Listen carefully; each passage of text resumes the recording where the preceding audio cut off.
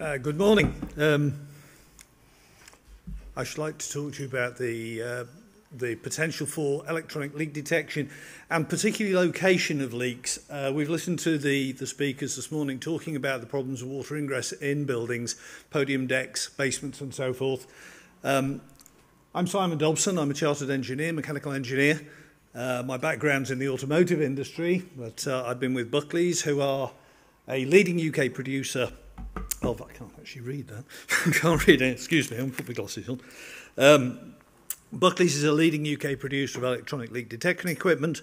We also make uh, a series of corrosion mitigation and uh, measurement devices, and uh, we've been doing that. We're based in Folkestone. We're just coming up to our 100th uh, anniversary, our centenary, which we're very much looking forward to.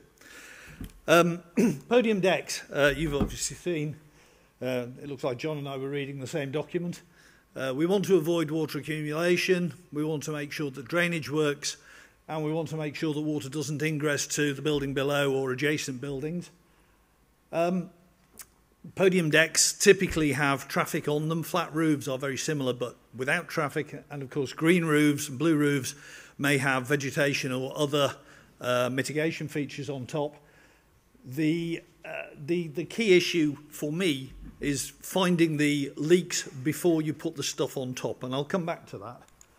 Um, where did water leak uh, electronic detection come from? It came originally from the petroleum industry. Um, as electronics became more portable, transistorized effectively, it, it got applied to the water detection, uh, water leak detection. And there are a range of standards across the world which are applied mainly to flat roofs, but as we've seen, can also be applied to the decking. A little science, perhaps. When there's a flaw in a waterproof layer, water gets through, electricity can get through too. If there's a ground path, and if the voltage is sufficiently high, there will be a current we can detect. When we can detect the current, we can work out where it is. The electronic part, therefore, is two, part, two, two systems, one to generate a voltage and the second to measure it, detect its location. And there's good old George Ohm. I'm sure most of you have heard of Ohm's law. If we can detect the difference in conductivity between the membrane, uh, intact membrane and the leak, we can detect where the leak is, and therefore you can fix it. There are effectively two groups of systems in use today. Uh, wet and dry systems. The wet systems, voltage field mapping, I'll talk a little more about that in a minute. That's something that we, Buckleys, provide. Uh, water lances, wet rollers, wet sponges, and install systems. Ben's already talked a little about install systems and how they are becoming a key feature in the, uh, in the, uh, in the, in the decking industry. Dry systems are capacitive, thermal imaging, and uh, high voltage DC uh, pinhole detectors, which is, again, uh, an area we talk about, uh, I will talk about because we produce them. So the wet methods will uh, effectively use the conductivity of the water. That means that you can actually use a low voltage because it's much more conductive than air. Um, the detection of the leak will be the current between the ground electrode and the field electrode, and localization can either be by sweeping a an electrode over the area or by using voltage field mapping or an installed system. Here, here is a little uh, diagram of something that Ben talked about earlier.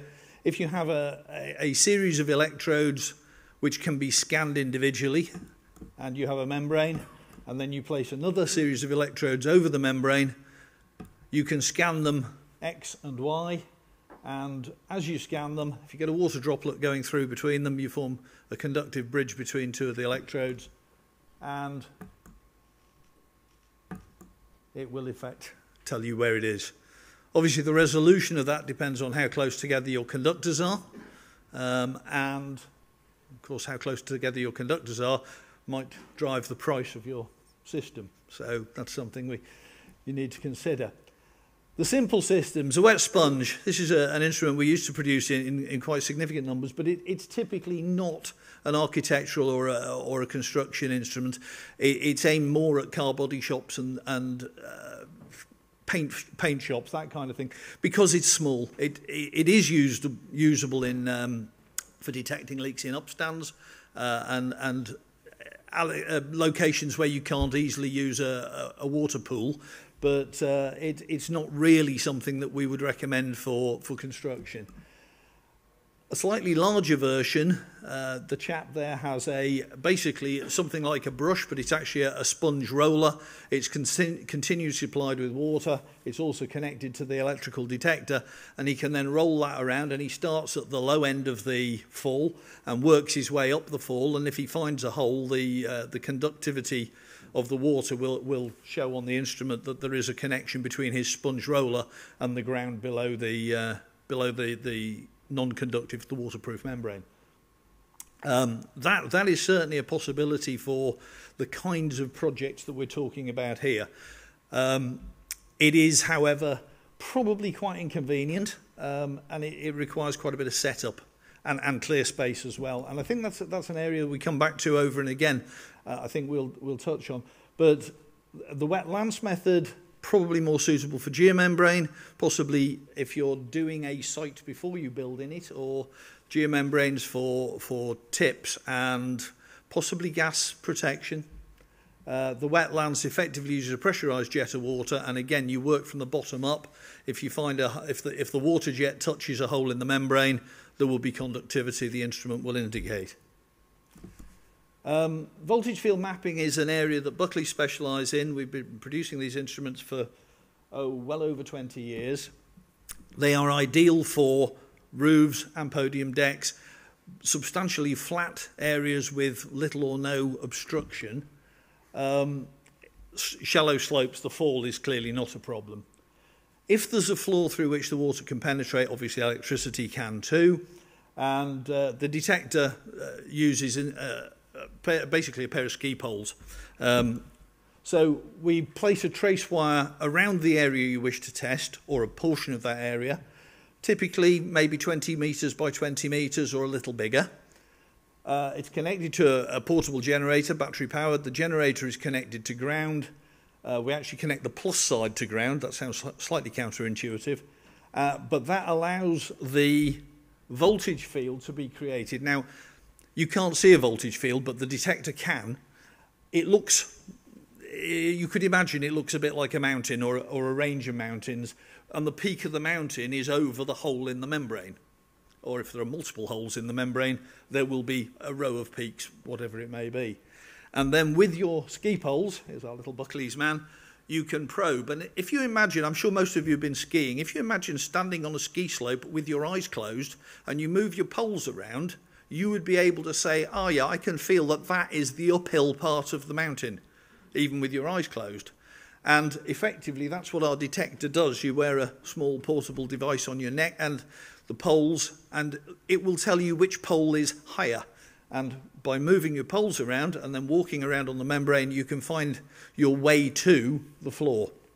So it's a very simple and effective way of locating even very small flaws. Um, typically things like screws, nuts, bolts stamped into the waterproof membrane by other trades, as, as Ben and John have both mentioned. That, that's the, the wet field detection.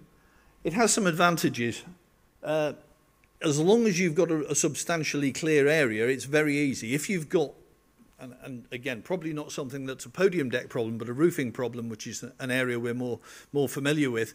Uh, if you've got solar panels, if you've got uh, air conditioning equipment, they, they will have earthed penetrations and they will disturb, disturb the electrical field, which makes it more difficult, but, but it can still be dealt with.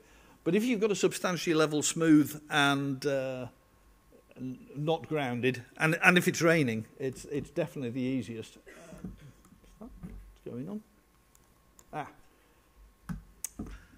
Um, I, I think uh, James mentioned something, and Ben certainly did, about water transition under a membrane, uh, the lateral movement of water.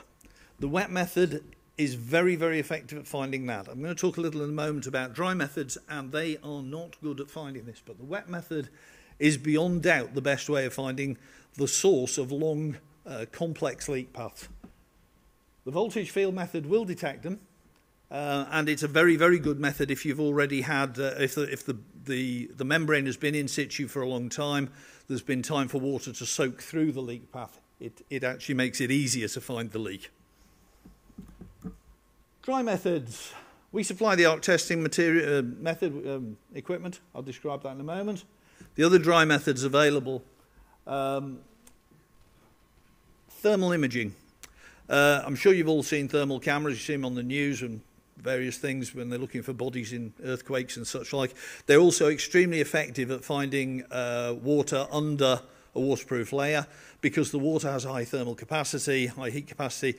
Um, if you have a cold night, the water cools down, everything else cools down. Sunny morning, the membrane that's not wet will dry up and will warm up quickly. The water will remain cold. The thermal image will show you that. It's a very effective way of locating where water is under a, under a membrane. It's not a great way of finding how the water got there. Um, similarly, capacitive methods, there are a number of uh, companies providing capacitive devices. They look a little bit like a lawnmower. Um, four wheels on the corners and a handle, you push them along, and they will detect the capacitive difference between dry substrate under a membrane and wet substrate under a membrane. And again, they're very good at delineating the area that you might have to work on to, to remediate the leaks, but they're not terribly good at locating where the leaks are. The, the arc testing method, we use basically spark plug voltages. If any of you had a shock off a spark plug, you know it doesn't, it doesn't do you any permanent damage, but it certainly makes you sit up and take, uh, take notice. Um, so we use a similar sort of voltages. They're around the 20 to 30,000 volts, which sounds enormously high, but it's very common. Um, what you do is a scanning approach. Effectively, you push a brush across the area you want to ser uh, search. The brush is conductive. Um, the instrument's carried in a shoulder bag, and you take a ground wire back to the building ground. The test voltage is important. Um, I, I said it's around the, the voltage of a spark plug. Um, we will give you good guidance, and, and indeed the better instruments, including ours, will provide you with a guidance based on the thickness of the layer that you're actually trying to test. You don't want to put on too high a voltage and burn your way through it. Clearly, that would be very counterproductive.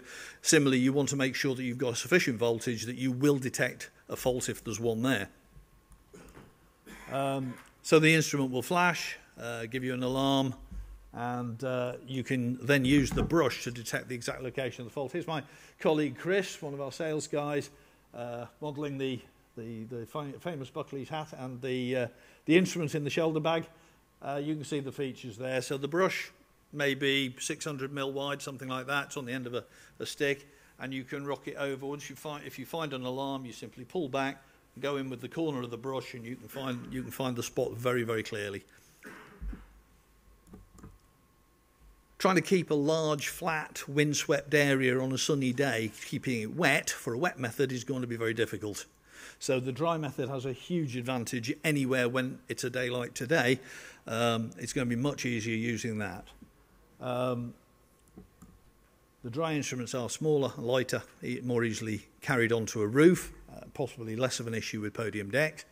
Um, and of course, the other thing is you can apply a dry electrode to any surface, including obviously overhangs and, um, and upstands. I think the sequence, uh, and I, I bow to the, the experts in the field because clearly I'm not, a, I'm not in the construction trade and I'm not in the uh, podium deck business, but um, the, the key point is really from our perspective is to ensure that the, the waterproof layer is properly applied and when it is, to do the testing. Don't try and apply the other layers and then test because, frankly, I don't think you'll get good results. Talk very quickly about the, the, uh, the systems that are available today the the permanently installed systems uh, Ben Ben talked about that but I mean clearly the advantage is it's it's on all the time. It's permanently installed it's there. Assuming it's uh, it's live it will give you information immediately and the big thing it can do laser it can actually detect leaks under an overburden. It can also localize a leak under an overburden.